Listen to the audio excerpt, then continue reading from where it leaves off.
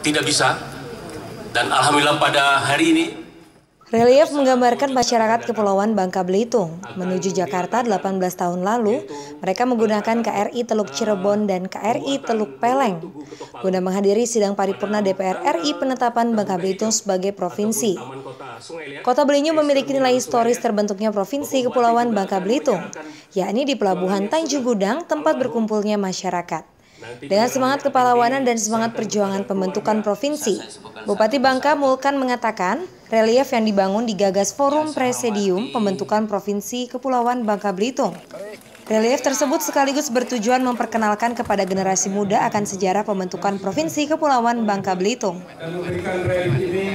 Tujuan daripada pembangunan apa namanya monumen relief ini kan supaya masyarakat kita terutama masyarakat kita regenerasi kita yang mereka belum tahu seperti apa sih perjuangan daripada pembentukan profesi Belitung ini.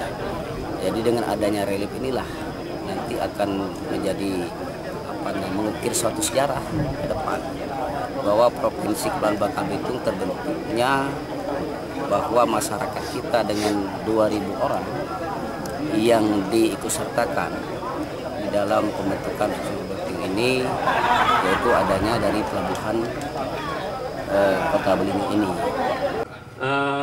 Pembangunan relief merupakan salah satu rangkaian menyambut HUT Provinsi Kepulauan Bangka Belitung dan HUT Lanal Babel yang ke-18.